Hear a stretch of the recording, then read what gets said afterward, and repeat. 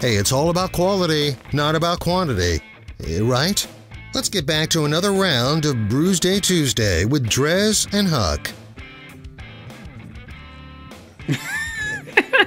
Might be a problem here. You got it. I don't. Let's see. Here it comes. Here it comes. Wait, wait. Don't not don't blow out the light. All right, there you Oh, go. There we go. Nice. That was nice. Yeah, round two of Brewsday Tuesday. I'm Drez, and as usual, Huck's over there pouring, pouring the porter. He before, right before we, uh, right before we came back, he's like, "By the way, this is a porter. Just, Yeah, didn't just a warning." I warning." didn't want to shock you. I'd be like, "Whoa, this is a brown beer." But it's, uh, it's a capped porter. Like this is obviously something, uh, something special. I'm assuming. yeah. Well, you know what? I, you know, we've been doing this for a while, and I've been fronting the beer, if you will.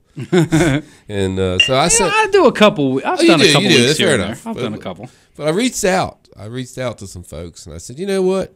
I think some of you brewers have some beer that we might want to drink for you and talk about. So I reached out to uh, South Street Brewing in Charlottesville, Virginia. It happens to be one of my favorite places to hang out when I'm in Charlottesville because it's such a lovely, Yeah. food's good, and it's right downtown. Not really to just nice. sit here and S30, but yeah, man, the place is great, and they have a lot of good beer. We were talking about them last week, Yeah, even we though we were. weren't even drinking we any of their yeah, beer. we didn't get it. They just came up. But um, so this is a this is the South Street. Is this a soft sim? Um, let's see. It says soft serve, like Soft ice cream. serve, like It's ice, ice yeah, cream porter. It is okay. Let me. It definitely has that coffee aroma, like a porter Oh, that yeah. like you're used to with a porter. It's a big old beer. It's a dark. Ooh, it does have some sweetness to it. Yeah, it's, a, it's, Not too bad. it's like uh, coffee ice cream. Yeah, exactly. Kind of has that like uh, a float almost deal to it. And once again, oh no, wait. No, I wait. saw I saw nine point four. It's one point nine point four ounces under blah blah blah. Where's the ABV? It's on there somewhere. Here, let me see. I can find it. Oh, he's going on. So when I lived in Waynesboro, grew up there, we used to go to Haney's Pharmacy and we'd get ice cream drinks, and this reminds me of those. You know, a lot of good ice cream floats of different Okay, flavors. maybe I can't float. find it. Well, here, let me see. Well, hold on, let me pour. Oh, yeah, there's a little left. Is yours full? How much- Yeah, I'm good. I'm good. You got all right on the top. Oh, so it's empty. Empty. Yeah, I'll drink that. Like I'm not a big porter fan, but I'm happy to pour more in my pour more of that porter in my glass, man. That tastes good. Look at everything. Nine point oh five percent. Nine point oh five. Yeah, twenty IBUs. Twenty-seven point twenty-three degrees. You got to lay it down. What what's what's IBU? international bitterness units. units. We've talked about that. The bitter, bitter, bitterness. It's yeah, your, bitter. It's your. You hop. said beer units. bitterness units. uh, twenty-four point oh one Plato. What's that? I don't know.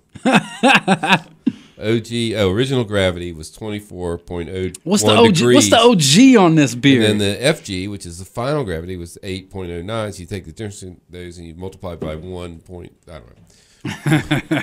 now, if you take the raw number, like if you're making beer, you take what your your specific gravity is, not Plato, just regular specific gravity, and you subtract it from the ending specific gravity, and you multiply that by 1.34, gives you the alcohol content of your beer.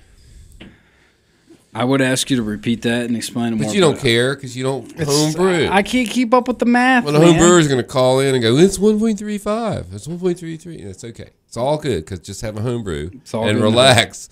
Have a home brew and relax. I'm gonna have a soft have a- serve. Yeah, this is I'm gonna have a. South Street beer and relax. This is not bad at all, man. Probably So- be so relaxed we won't even finish the show. Mm.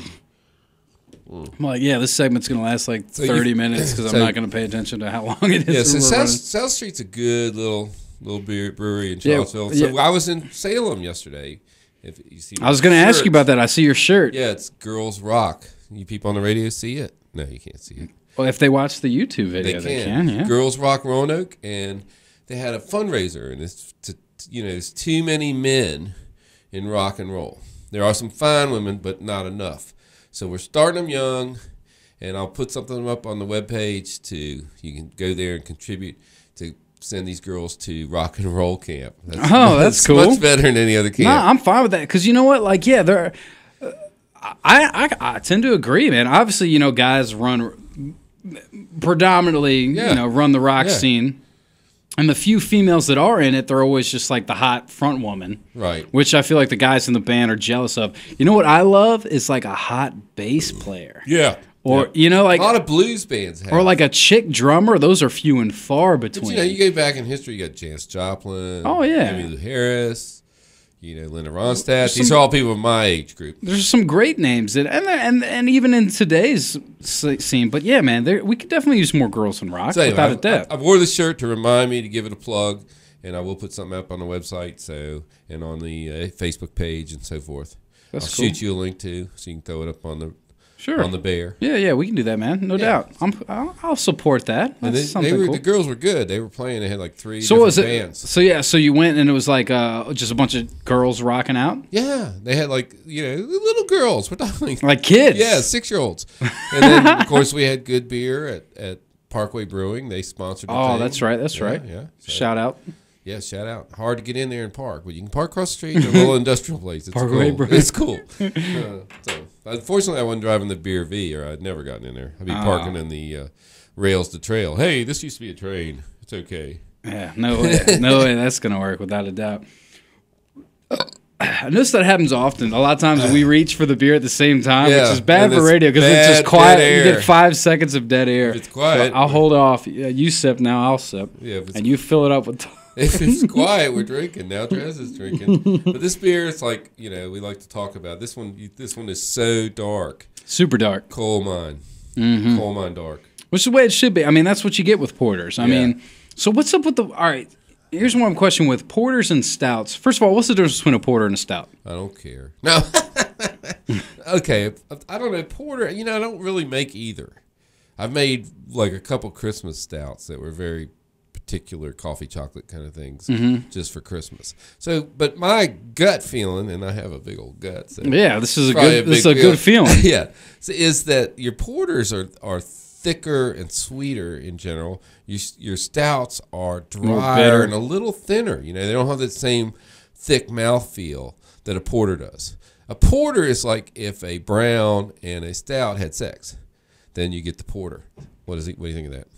I guess that could be about right. Like, you you should know better than I do. But uh, my the reason I asked is because I I tend to realize that both a porter and a stout they have a lot of that coffee taste to it. And that's a why that's put what I'm coffee in them. That's that's a big thing. They don't necessarily have For- it. to both. Yeah, both of them like to add. That's pretty standard. Standard, kind yeah. of yeah. chocolate coffee. See, and that's why I lean against. I don't drink coffee. I'm not a coffee drinker, which is surprise. Like Actually, I I, feel like at this point, I shoot it in the morning. I have to have like, like inject coffee yeah, into your veins. Yeah, I gotta have it. But uh, Every see, morning. yeah, that's just one of those things where I'm like, you know what?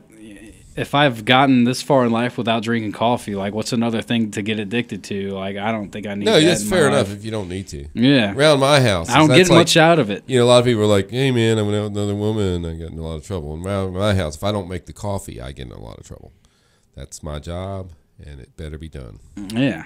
So, So, but so yeah, the so porters. It seems like yeah, both porters and stouts. Brown, I guess sometimes some browns can have a little flavor. no, but I'm saying the brown is a lot lighter, but more on the good mouthfeel, but not the the sweetness, not the coffee. They don't add a lot of stuff to browns. Browns are pretty vanilla, if you will. it's chocolate vanilla. So, but and your stouts are pretty dry. So somewhere the the porters in between them, I think it's like it's got similarities, but it's still different. So, I'm not a huge porter fan, but I guess we're at the point we could judge this one.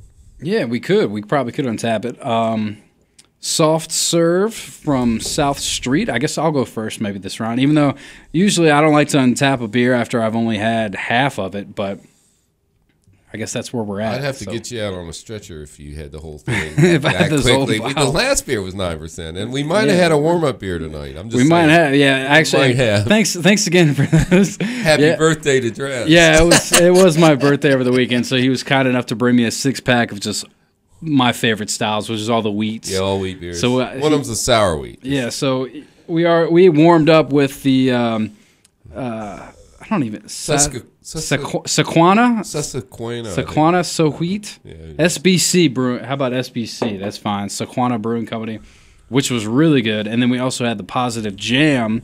Champion uh, of from Williamsburg, Champion. Virginia. No, Yeah. is that right? Williamsburg. Yeah, I think that's right. Champion. They might be Charlottesville too. Actually, Charlottesville, yeah, Yeah, Champions in Charlottesville, and this one had sp- weird spices with it. This one was interesting. It had like uh, I noticed as soon as I took the taste, yeah, the lavender. It had it was almost like a perfume kind of. It's like you're somebody sprayed perfume in my beer. Damn it. that stuff happens. But um, but yeah, no, that's for that. But uh, but yeah, getting back to the porter, man. So soft serve. Yeah, I'm not a big porter guy. Just kind of like the last one, an IPA. guy. Maybe I'm turning into these guys. I say that every time, but I end up giving them a good rating because this is one of those ones. I, I love that it's AB, high ABV because this is one you're going to sip on anyway. Yeah, but you know you're not really getting the alcohol in your nose at all on this. No, beer. it's not kicking really. in. Usually over seven percent, you're like, oh, high alcohol. But this one's like, no, it's, it's not kicking your mouth. Yeah, it's smooth. there. it's tasty. It's you can definitely have the you get the sweetness without a doubt of the ice Very cream, the soft serve without a doubt. It's got that chocolatey. Let me give it one more sip, and we can, uh, and then I'll probably give it an official untapped rating. Yeah, I mean these these kind of beers, you know, it's uh, it's like roll. It says rolling like a big shot. Beer tuned up, tuned up like a NASCAR pit stop. Fresh cocoa nibs, check. Fill it from the bean pot, check. Are the flavors big? What? Do it taste good? Yeah. Lean back, right hand on the goblet, cream on the inside, chocolate bean outside. Yeah, we're ready to go. So that's just good enough. That label there is good enough. I like The that. label is pretty cool. I'll give them a little credit for that. You whatever. All right. Long story short, uh, like I said, not a Porter fan. This one probably would get a bigger rating from Porter fans, but I'm gonna give it a three seven five. I'm gonna give it a three seven five. I'm in a four, no problem. This is a good beer. Easy four. Easy four. This is going to turn me to taste another porter. It's like doing a good turn and saying, pass it forward. I'm going to pass the porter forward. Pass the Porter four. Find me another forward. Now, porter. real real quick before we wrap it up, I feel like there was one other thing we wanted to touch on, and if memory serves, was it like the the reach? Like you- a shout out to the breweries that were. Was this one that they th- threw our way to try? Yeah, they, they gave us this beer. Yeah. They, sent us, I sent them, a. it's like a, really the test letter. I sent it to them. yeah. I actually sent it to their sister brewery. I which- feel bad having Which I don't know if they should not- advertise they have a sister brewery. So I sent it there, and, and then a couple days later, I got beer in the mail. All right, cool. Yeah, Life is good. I feel bad you having to go and buy the. That's why I like to bring the beer sometimes, but I feel like we're gotten to the point where we shouldn't have to bring the beer. I buy a lot of beer I'd anyway, Drez, and I share a lot of beer anyway, Yeah, so it's is- not a big this deal. is cool, but still, shout out to all the breweries out there that want us to review their beer. We'll happily drink it on air. And we'll try not to be mean sh- at yeah. all. Yeah, we're never mean. You know, we're just we'll be honest. there was- you know, we're not going to kiss your ass. Well, we might kiss your ass a little bit, but Yeah, we'll kiss if I don't like it, I'll say I don't like it. But Right. I'll tell you that it's probably the reason why I don't like it is because it's probably not my style of beer, which is fine. Exactly. Still like to try it. That's right. Yeah. So send us the beer. Send us the beer. Hucksbeerbuzz.com. Uh, Hucksbeerbuzz on all the social media. Of course, Drez Drinks is my handle on uh, Untappd if you want to follow me on there. Uh, Brewsday Tuesday, wrapping it up on Tuesday. We ran long on both of these segments. man. Yay! We- I like to be a. That's what happens when we have the, like the be on for a warm-up long beers. time. the warm up beers. Well, Huck, as always, man, I appreciate you coming in, brother. Next week. And we'll do it again next week. Yes. Brewsday Tuesday, that's a wrap. And uh, we'll be back with more tunage right after this. Stick around.